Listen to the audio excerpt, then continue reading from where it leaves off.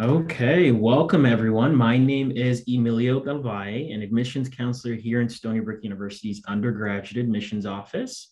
Uh, the admissions team, as well as our presenters from SBU Libraries, are thrilled to have you all here with us today.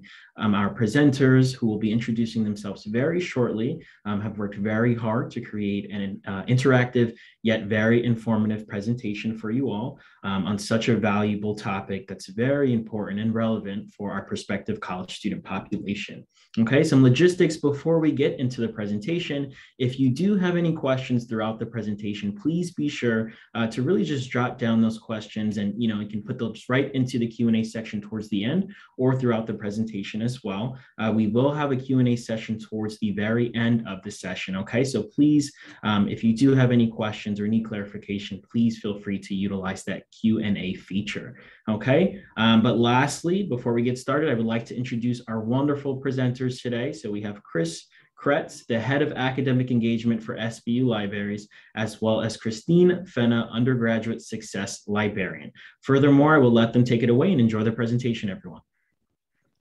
Thanks, Emilio, and, and, thank you all for attending and inviting us into your your, your virtual rooms. Uh, homes to talk to you about something we're passionate about libraries and research and particularly the two positions christine and i are in we have looked a lot and and talked a lot and helped um, the transition from high school to college so we're, we're, very much hoping to give you some advice that will help you uh, let you know about the stony brook libraries but also wherever you wind up going we hope you seek out the library because we do believe it is um, one of the keys to your your academic career uh, in higher education.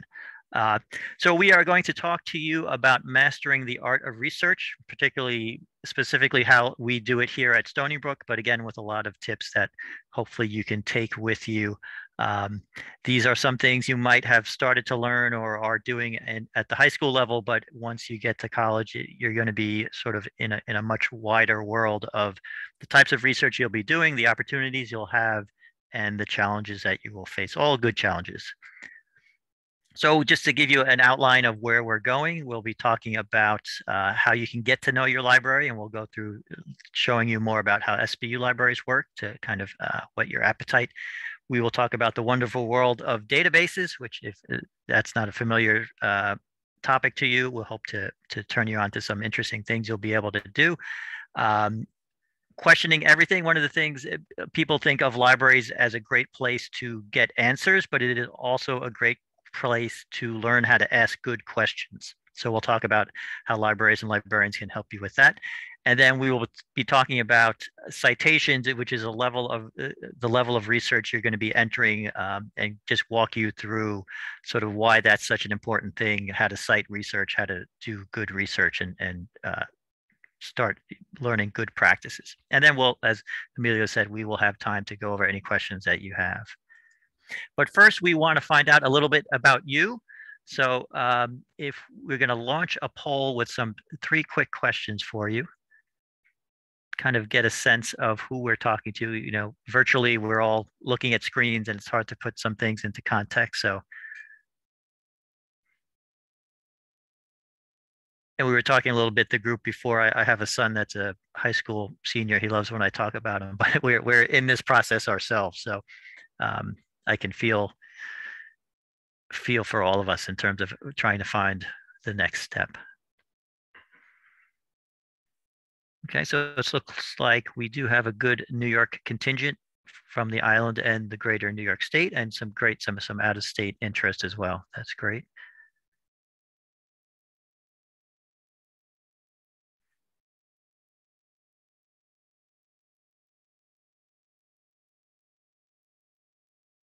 And let's see. Yep, and this is always a big question. And again, uh, we always preface this with saying you don't have to know this now. Um, but if you have an interest, at least starting out, it, you know, helps us frame some of the things we'll be showing you.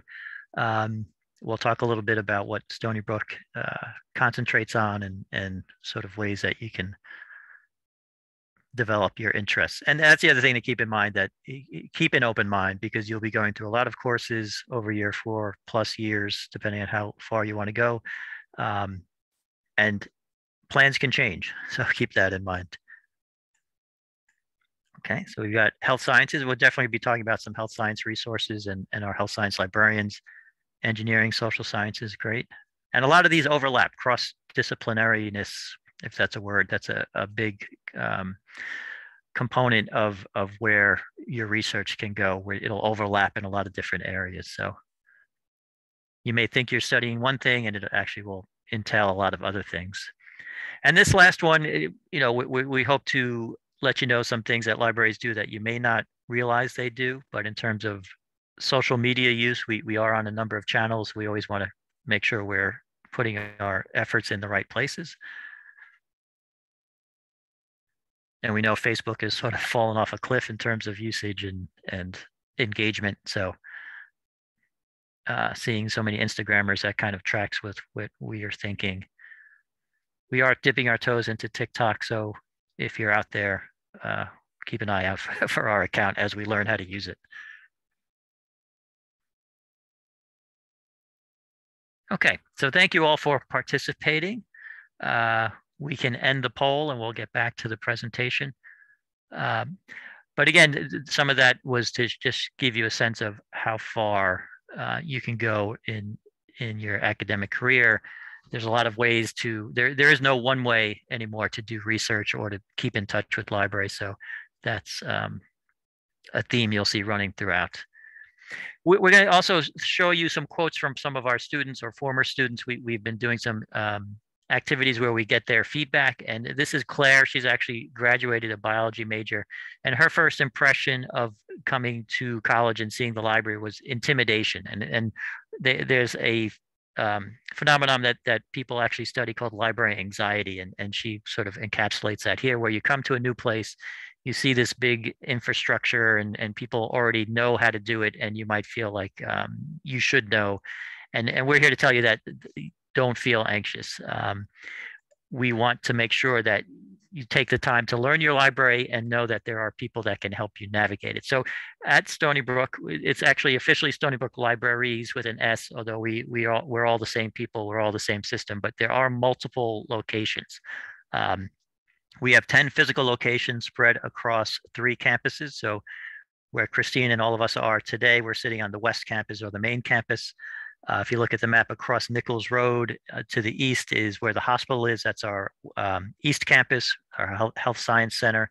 And then we have a Southampton campus, which is about an hour drive east of us, which is a very nice, very small kind of upper upper level uh, master's level campuses out there. A lot of health science programs, PT and OT out there. So you might run across that campus in your Stony Brook career. There are 22 what we call li liaison librarians. Uh, Christine and I are two of those, and we'll talk a little bit more about what that connection means. Um, roughly 500 online research databases, and we'll dip into those um, to show you why those are so important. Over 2 million physical volumes, which actually means items. So it's not just books, although we have a lot of books, but we also have music scores. We have actually vinyl LP collections. We have um, maps. So a lot of different resources that you may be using in your research. So in terms of those 10 locations, those three campuses, there's a lot of little nooks and crannies. So spend time exploring whatever library you wind up at because that's um, will reward yourself with finding the places that you like to study, where you like to study. So these are some of the spaces at Stony Brook. Our central reading room and North Reading Room are on that West Campus. Um, it's called the Melville Library and central reading room has some nice you know we have current magazines and newspapers that you can browse but there's also seating where you can meet people and a lot of whiteboards that you can create little um, corners where you can do some research and, and practice things uh, with other students.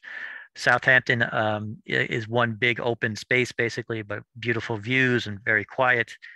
The health sciences library which is interesting if you're studying health science you'll see some of the doctors and interns come down on their breaks and be doing research in the same space as you. So you get some exposure to what that life is like. And then there are these quiet areas that you can go into. And our music library is another nice little nook where um, they actually have listening stations. You can listen to recordings for classes and things like that. So, so again, a library, it's not one monolithic place. There's a lot of little places that you're going to be uh, encountering as you go. And I'm just going to give you a quick tour. The, the website is probably the best place. So if you're looking at Stony Brook, hopefully you've seen this already. If you're looking at other places, definitely take a look at their library uh, websites. If you're not sure where to go, there's an FAQ section. So we'll just show you that first off. Answers a lot of this, the very basic questions. How do you check things out? Where are the books? Things like that. Um, the other thing, I'll note a few special services that we have. We are lending laptops. So especially with the pandemic situation, a lot of uh, students were able to check out a laptop before they left or come in and get one if you don't have one at home or as, as a backup in case you need it. So we are loaning out laptops. Uh, and then we have nooks and crannies within the nooks and crannies. So we have very special specialized study rooms that you can reserve for smaller groups. So that's like groups of two to five.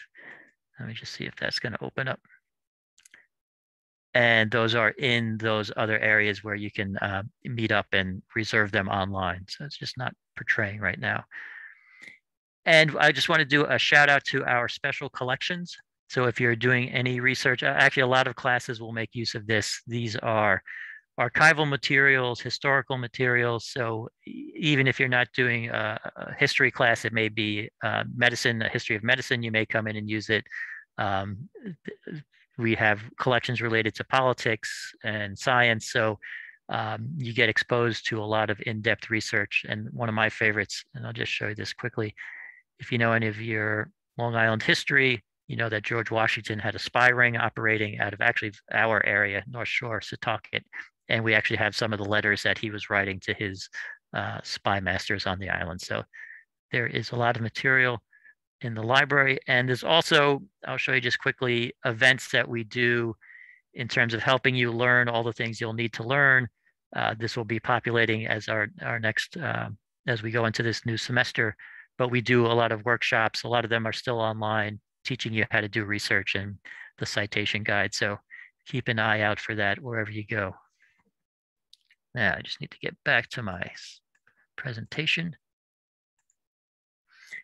Another of our students, Nava Berger, political science and history major, her aha moment, which will bring us to our next section, is she her eyes were opened uh, about research when she learned about and started using the library databases. And again, you may have been or are using some in your high school classes. Your high school library probably has access. Your public library. Um, this is the analogy I like to use. So think of all the streaming services that are out there now. These are companies that charge you money to get premium content that you can't find anywhere else. So the movies on HBO Max, you're not going to find them on Google streaming for free. So think of the databases as these types of um, specialized access only systems, but for academic content. So the the research that you're going to need to find. They're not published for free, mostly on Google. You need access to these, and they don't sell single subscriptions. So that's where the library comes into play. We have paid for subscriptions to these big packages from A to Z, from ABELL, which is English language and literature database, to zoological information, uh, 472 at the moment. And once you're a student here, your ID is your password to get into all of this content. It, it may not ex- find, sound exciting now, but once you get into your classes, you find your passion, your major, uh, all of this will start to uh, seem like the really valuable asset that it is because you're going to be using, you're going to be asked to find resources that are, are beyond just what you can get through a Google search. So I just wanted to give you a, sort of a, a quick preview of some of the things you can do with these databases. And again, these are things you're not going to find access to unless you're in an institution like Stony Brook. This is a database called Business Insights, and this is a looking at um, 10 years of revenue of three different, uh, actually four different um, shoe companies, Nike, Reebok, Adidas, and New Balance. So you can sort of trend if you're doing any marketing uh, work uh, as your major. This is the New York Times from 1918. This is an ad from Macy's during the Spanish flu. And this is an advertisement for window ventilators. They thought if you had these special screens on your windows, it would help keep the flu out. And, and the power of these databases, you can do a search and say, just limit it to the ad. So you can do these huge searches of a whole year's worth of content and say, just show me the ads, show me the obituaries, um, things like that. So there's a lot of power in once you start learning to use these uh, systems. Uh, if you're doing anything with music or if you're um, eh, taking a film class, we have some great film minors here. Uh, we have a streaming database of music and you could look up um, the screen, the uh, original music to Jaws. I'm not sure if this will play, so let me just give it a shot.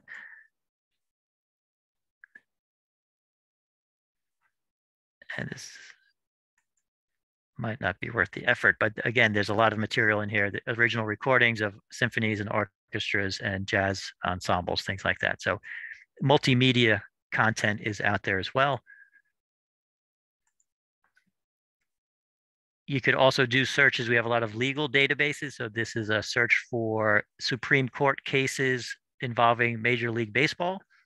So again, you never know where your research might take you. So this is um, a lot of power that you can do a lot of detailed searching on to find um, case law, state, federal level, things like that. With the health sciences, we have a lot of specialized databases that, uh, again, our, our medical students use. So these are, you know, people in residencies and, and specializing. They use it. This is an animation of um, a certain type of surgery. I try not to look, to look at the medical stuff too much, but over the last year and a half, there was a lot of um, anatomy classes that moved online, and we have anatomy apps so people could um, study anatomy virtually. Uh, in the moment, you know, it was it was not a substitute for the real thing, but again, a lot of the technology uh, you can start doing uh, work right away. And in terms of of asking better questions, you might have a class where you're talking about maybe the the Disney princess in culture might come up. And as you get into searching databases, it is sort of speaking a different language. So you would start thinking about how do I make that into a search? So you would start learning to think in terms of how the database works and breaking your searches down. This is, looks like a math equation, but it's a way of finding research into how the Disney princess image can affect different people, in this case, girls and uh, children and girls. So uh, if you're doing you know developing your research we would help you develop and how you get from an idea like disney princess to a final finding someone's research about uh, girls and identity in disney princess play so you're going to be learning a lot of specialized vocabulary and language as you start getting into um, the fields that you're most interested in this is Melanie, our last student quote, and I, I like this one because her takeaway from uh, her research at Stony Brook is not to just take the first thing. You know, it's not um, you do a Google search and the first one is what you put in your paper. You really start thinking deeper about what it is you want to find. You don't just take the first thing. You uh, verify your sources and look for what fits what you're trying to find, what you're trying to argue. And the final point uh, that I'm going to make, dovetailing off of Melanie's, is that librarians are a good resource for helping you find the best source or develop your topic. So th these are your friendly neighborhood librarians here at Stony Brook, or some of us at least. Uh, we work with individual departments. We also work with different levels of the community. Uh, so you'll meet a lot of us in your classes and things like that we survived the pandemic much as you did, trying to, to keep sane on Zoom and, and meeting in groups and, and socializing and working with students online. Uh, but we do a lot of things to help you. So again, with that anxiety that you might feel starting at a new uh, institution, we have guides online with friendly faces and ways to get in touch with us. We have a chat function uh, that pops up on our website. You can get in touch with us automatically. We do in-person classes, so you'll see different librarians, depending on what you're studying, will come in and develop relationships with you. And it's it's all to help you start thinking like a researcher. And so we provide the platform, but we also help you use it. And I'm going to pass this over to Christine because a lot of what the next steps would be in finding your research is um, citing your research. So Christine, if you want to jump in. Hi, everyone. Good afternoon. I'm Christine.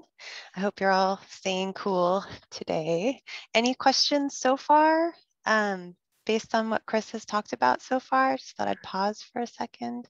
I don't see anything in the Q&A, but I just wanted to throw that out there. All right, so I'm going to move on. Um, a lot of times students now I, i'm not sure if the majority of you are students or parents i'm going to talk to you uh, like i have at least some students here Um, so I think a lot of times students come in uh, with certain preconceptions about what citation is and what they're going to be expected to do when they get to college. And I just thought I'd ask all of you if you wouldn't mind opening up your chat. Uh, Chris, could you go on to the next slide? I just wanted to get your perspectives um, and you know students or parents but i'm talking primarily to the students. Why do you think you cite your sources? What have you been told by your teachers? What are your own thoughts? Um, why is it important? Why do teachers always tell you to cite your sources? I'm going to just look at the chat and i'm going to stare at it until we get some responses here We just lost the buddy. yeah, no, no wrong answers. There's no um, wrong answers. Yeah, so students, uh, the, the attendees actually don't have access to the the chat. Oh, they feature. don't have access. Yeah, but chat. it's okay. So so for anyone who wants to to answer this question, please direct that right into the Q and A section. Okay. Um, as soon as you pull it there, we all should have access to see them. Okay, and you can answer uh, anonymously as well if you would like. Great. Sorry, everyone.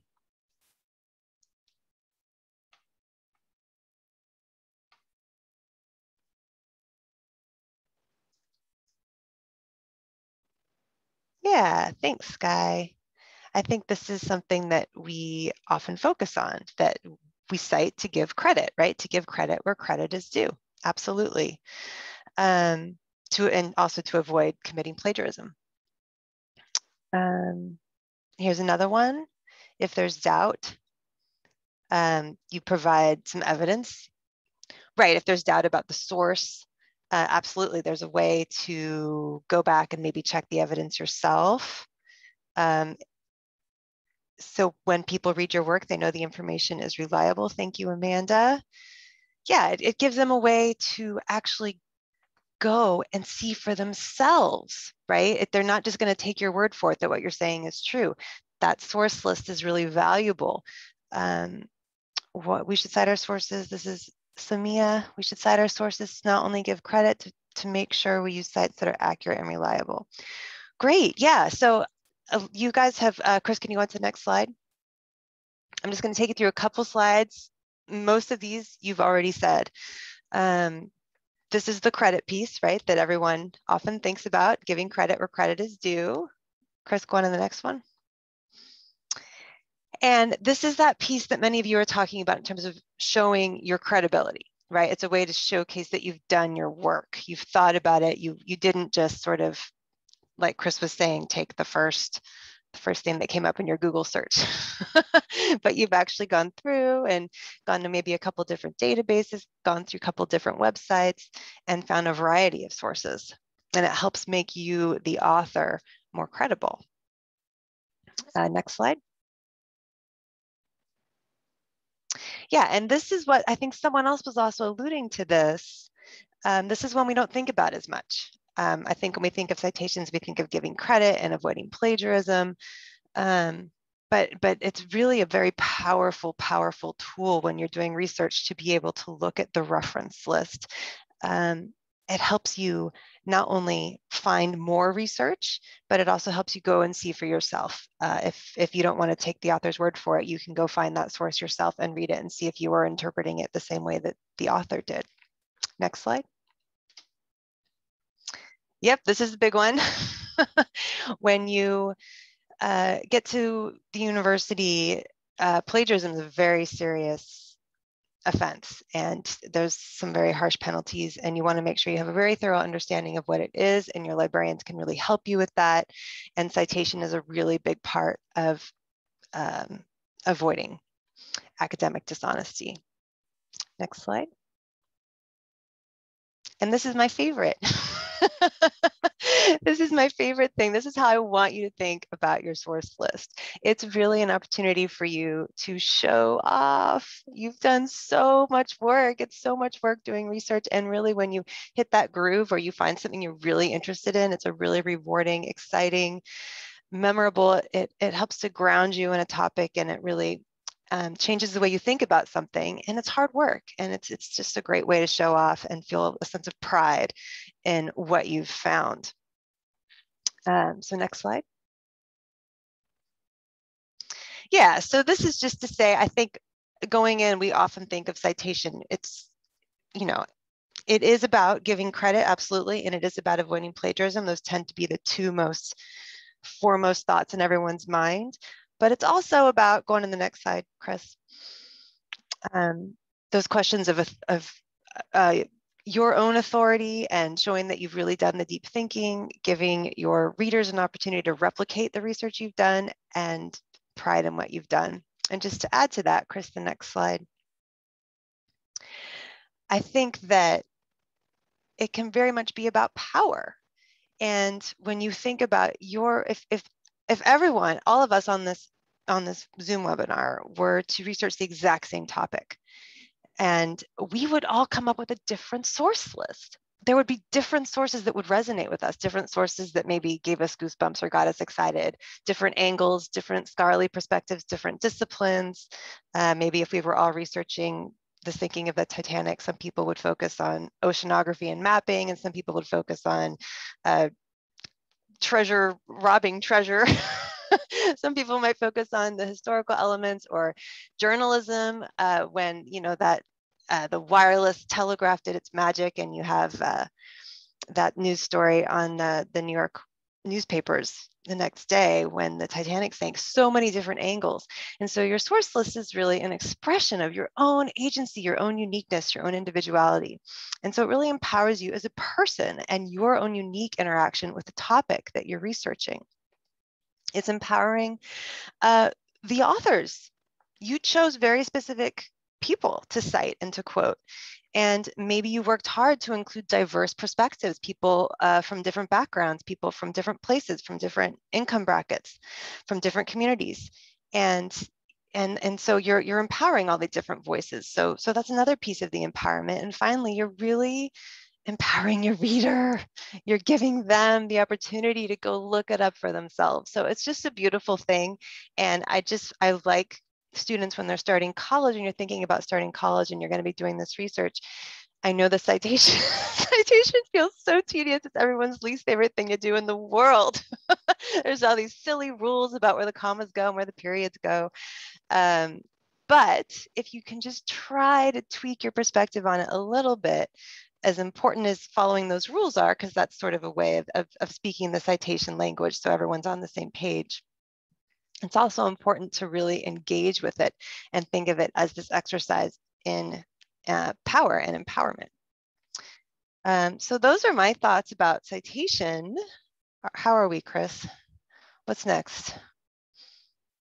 Yes, uh, and when, when you're doing research, you'll find um, when you're looking for those citations and formatting those citations, librarians, we are all here to help you. Uh, wherever you end up going, you should definitely reach out to your librarians. They're there to help you. Um, there's these tools uh, that you can use, um, a number of tools you can use. On this slide, it's talking about when, when you're searching, there's going to be times when you can grab a citation from the database. It'll actually format it for you. But those are done by algorithms. They're not always correct. And so you'll always want to double check and make sure and ask a librarian um, if you need help.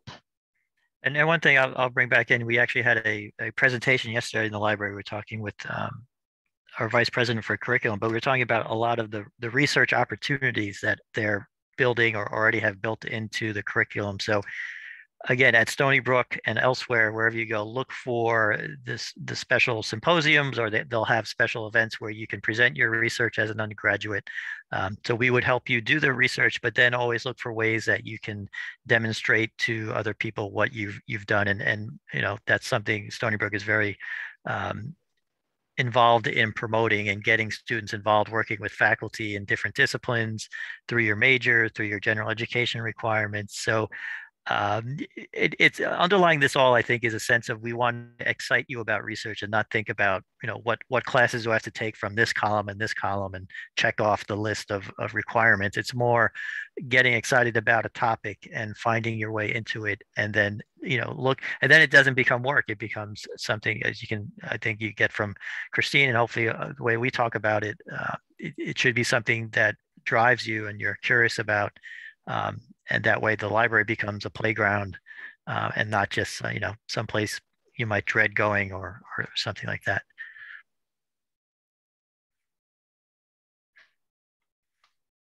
Christine, anything to add to that? Uh, we're at the end. We'll leave up our emails. We'll get to questions as well.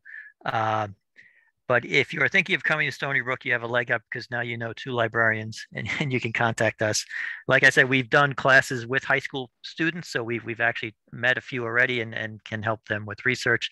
That chat box I showed you is anonymous. So I, I know we've helped people from outside the university. We, we like questions no matter where they come from.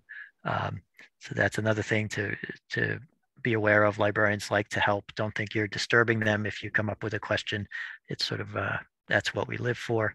Um, I do have some uh, uh, questions that were chatted to me privately. If you sure. would like me to, sh- okay, great. So it looks like the first question I received is from the overall incoming first year class. Uh, how many of these students typically get involved with research? Um, and the student also followed up with that saying, is this an in depth level of research um, or are students introduced to research gradually? Christine, you want to take that because you work closely with the yeah. 102s? Sure. Now I'm going to talk particularly about Stony Brook because that's where I am. Um, you know, every institution is different. Uh, there's all kinds of different colleges and universities out there, and they're all going to have programs that's specific to their campuses. Here, all first year students are going to take a writing course where every single student will complete a research paper. And that is, you know, that, that might be considered more on the introductory level. You're going to be working with your writing teacher. Uh, you might, um, your teacher might have a librarian come and work with you and show you how to use the library databases. Uh, and so this, those papers typically, we're talking, you know, eight to 10 pages, maybe sometimes a little bit shorter than that. Uh, first year college level research paper. And this is where you really get an opportunity to try some of these research techniques that Chris was showing you with the search strategies, trying different databases, different academic databases, trying all kinds of different sources that you might not have read or watched or used before in a research paper uh, not only scholarly articles, but maybe you find some podcast interviews of an author, or you're going to mix and match. Uh, maybe you're going into some statistics, a statistical database that you didn't know existed, or maybe you find a cool archive online somewhere. So you're going to really get to dive deep into some sources, newspaper articles, uh, and um, synthesize the ideas you find into a coherent argument, a coherent point. So that is what everyone gets to do in their introductory um, writing classes. Beyond that, there are other opportunities. There is an undergraduate research program here at Stony Brook. It's called URECA. And there uh, you work typically, it might be a project you started in a class, and then you work with a professor as an advisor to help you refine your research project, and you get to present it uh, like a, a, usually it's a, a, poster presentation of the research that you did. Uh, some students participate in that. There is a relatively new program here. It is the vertical, what is the full title of uh, that? Uh, it's VIP, vertical, vertically integrated projects, I want to say. Yes, vertically, uh, and, and the, these are opportunities uh, where there's a topic. Um, what's an example of one that they have up right now? I don't know if you can share the screen, Chris, but but it's it's an opportunity to work with uh, an interdisciplinary team, uh, and not only it's just a disciplinary in subject matter, but also in uh, very. You might have a, a professor, a faculty member, you might have a graduate student, you might have undergraduate students working together on a topic, but from different disciplinary perspectives. Um, and they're trying to bring more undergraduates into those projects to get more undergraduates research opportunities as well. Um, and then of course, depending on your major and depending on the upper division courses that you take, you'll have different types of research opportunities um, depending on whether you're taking history classes or psychology classes or biology classes or chemistry classes, uh, you might have opportunities to work with faculty um, on projects in those different areas. Does that answer your question?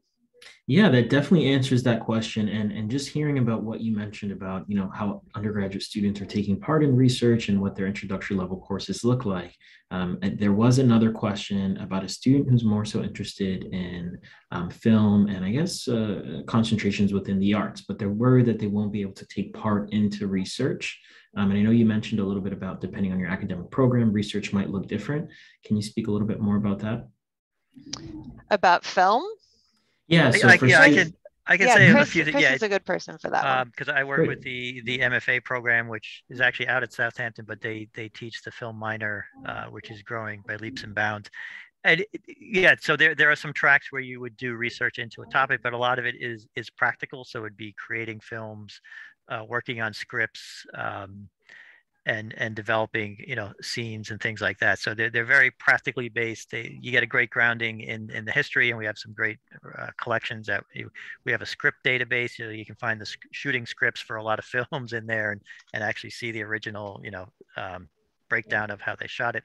But but a lot of the the work is um, based in practice. So you, you do a lot of there's one class i think is just on filming creating a movie with your iphone and so you get a lot of hands-on experience working with great faculty members on on doing that kind of that kind of work too Perfect. And I see that Christine has just dropped a link in the chat to everyone. So anyone wondering about, um, you know, the programs that we talked about in regards to getting involved with research, you can definitely click on that link and access that there.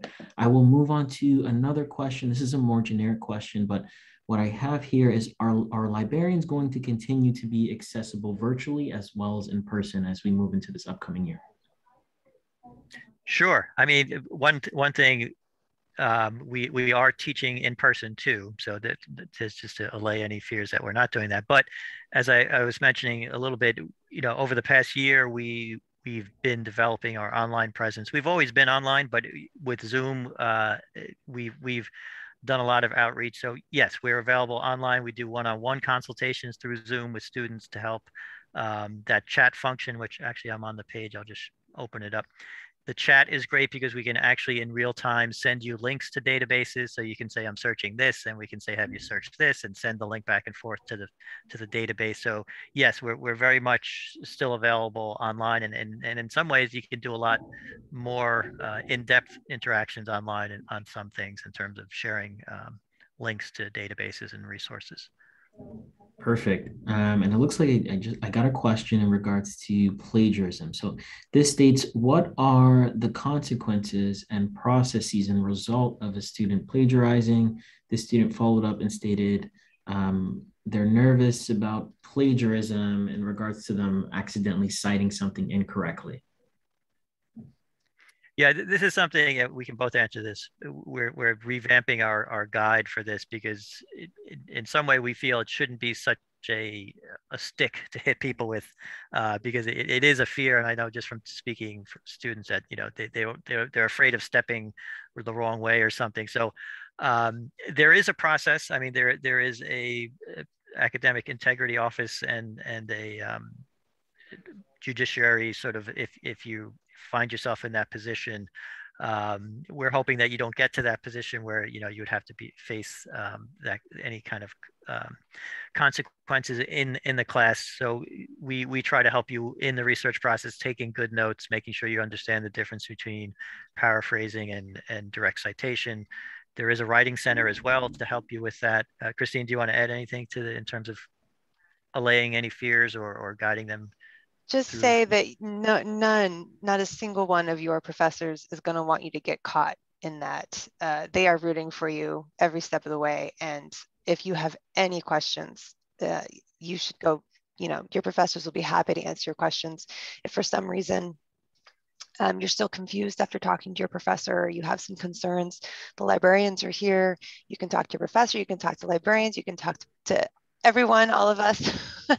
Nobody is going to expect or um, want you to be in that in that position. Everyone's going to give you the resources that you need, or do their best to give you the resources that you need, and uh, be there to help you. And so you you should really feel good about asking lots of questions and expect that everyone's going to expect you to ask questions. I think that's that's the most important piece. Do not come in thinking that everyone expects you to already know this. If you do get that sense, um, just come talk to us because we'll, we'll reassure you that that it's it's a very confusing topic. We don't expect you to be experts in it. We don't expect you to fully understand it. Even um, full-blown professors, scholars, we all have questions about it. It's it's not something that's set in stone. It's it's a very tricky topic, especially with the participatory web environment. There's really lots of interesting, valid questions. Um, so and, and a, a, lot and a lot of times you'll be going through drafts. So with the, with the yes. in the class, you'll be handing in a preliminary draft. They'll work with you, especially in the first year. Um, so you'll you'll get a sense of developing a topic. It's not just hand in the paper. That's the last you know eh, you get one shot so you, you'll be working with the and and just to um, emphasize what christine said always ask questions. You, you know don't don't be thinking oh i you know there, we say there's no stupid questions and it and it's we mean it and it's it's sort of um, you, you don't want to you you think of it as getting your money's worth you know you you want to get uh, if you don't understand the assignment ask them to explain it maybe a different way or or if, if it's not clear on the syllabus ask them to maybe uh, go over it again because um, you know you're here to learn and not just jump through hoops for someone else Perfect. And I have two more questions here. It looks like one is a very generic one as well. So, and then we have another one in regards to uh, the resources to, to do actual research. Mm-hmm. Um, but this first one here is our library. Uh, no, I stated that one already. Um, okay. Are there certain libraries that should be utilized based off of a student's academic program? Yes. Well, so libraries and also collections. So, you, you know, I mentioned we have 10 locations. Uh, that Southampton location has a lot of health science programs, but it also has an, an in-depth um, film research library, which I should have mentioned before. So we have a film professor from NYU that donated a lot of their materials, so that's out there. So yes, I mean you you would once you know what you're searching for, the, the material that you may use could be anywhere in the library. So it, it's not like saying, just go to this section for this. It's going to cross over maybe into music. The, the business section could be in a couple different places. So, you know, social issues could be in, in historical sections as opposed to sociology or, or psychology. So, um, you know, you, your, your topic in a sense will dictate where you go to look for it. Uh, but we would help you navigate it because it doesn't always make sense how you get around the library. Um, just as background, this this school was was built in the early 60s, and the original library is basically they built the new library around it. So it's not always clear how to get from one section to another because it's an interesting architectural feat. They built a building around another building, but um, so that, that's why we're always here to help you interpret. You know what you're looking at on the page is our catalog. So if you're to look something up, it would give you a lot of locations and where we would uh, help direct you where to go to find them. If that makes sense, that's got a little rambling there. Great, yeah, and, and, I, I think, just, I, sorry, I was just going to add that, uh, but anyone is allowed to use any any yeah, library. So there's point. there's no there's there's no library one library that you're supposed to use. Um, you can go to any library you want. You can go to the tiny little nook and cranny and uh, in the music library, even if you're not a music major, you could you could find a place or sources uh, that you're interested in, no matter what. Great, and I think the the screen here is a perfect segue to this final question that I have here. But it looks like someone would like to know: um, Are we provided with free services in regards to accessing different sources for our research assignments, and are they easily accessible? I, I guess what could you just read the first part again in, ten, in terms of what you're, you're yeah, meaning so, by. Yep, it looks like the student is just wondering, I guess, in regards to finding different sources and, and things to aid them with their research. Um, are there free services for these students? And then the follow up part is, are they easily accessible? Yeah, I mean, if, if we're talking sort of access issues, there there is an office on campus and a, and a room in the library where they can um, if, if they need that type of help in terms of um, you know special needs or, or access to things like that. Um, in in terms of subject specific research you know that's a little bit of a different question so it might not be what you're asking but um, you know there there are subject specific databases and, and resources that you'd be able to access. So again biology medical science as opposed to in-depth business or legal resources Yeah, I think the student is just referring to the databases and I guess Okay. how to Yeah. utilize them and how to access those services. Yeah, so, and I'll just recap quickly. I'm on the database list. This is that A to Z list of 472 database packages and we all, we, again, we subscribe to these. So as a student, you would have access to all of these. And it's just a list of names until you learn a little bit more. You can read about them, but we break them down by subjects too. So you could look at the ones that are good for biology. So yeah, and all of these are accessible to a Stony Brook student, no matter what level they're at. So it's just again off campus. Your your ID card is what you log in with, um, and you can download the the full text of things if it's available. You can watch streaming movies, listen to that music if you want to. Um, so again, there's there's a whole host of things you could use, and your challenge is figuring out what it is that interests you and and start looking start looking for things then. Perfect. Well, that, unless any questions pop up now, that was all the questions that I received privately.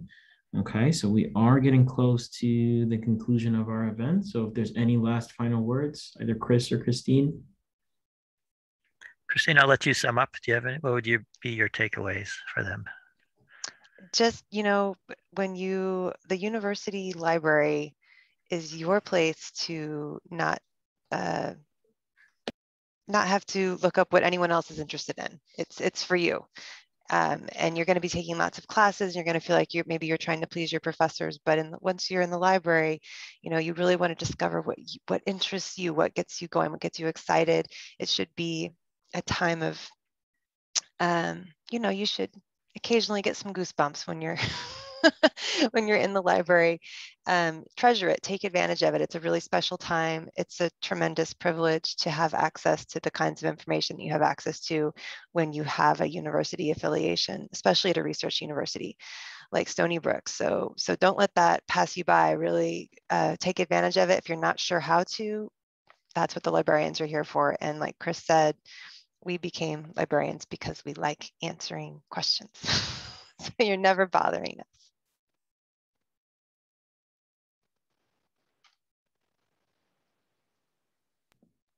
Perfect. Chris, do you have any takeaways before? we Yeah, no, and again, thank you all for coming. Uh, know, in a way, you in your college search, you're doing research. Obviously, it's not new to you, but you you know, learning about a college is research itself. So again, these are skills that you've been developing, and then just as you get into the university level, we we build on that with you. So um, you know, good luck with everything, and again, thank you for listening to us today. Perfect. Thank you so much for attending, everyone. Uh, there was a ton of resources in the chat that we recommend you all utilize and access at a later time. Um, we also will have our recording of this event on our um, Stony Brook University admissions YouTube webpage. That link is also in the chat for you to access at a later time. And then, of course, we did have the SBU Library's contact information pulled up. Um, so if you ever want to get in touch with them or also get in touch with us here at undergraduate admissions, we will be more than pleased and, and welcome any of your questions. All right, so thank you so much for attending. Stay safe, stay well, and enjoy the rest of your day, everyone. Have a good night. Take care.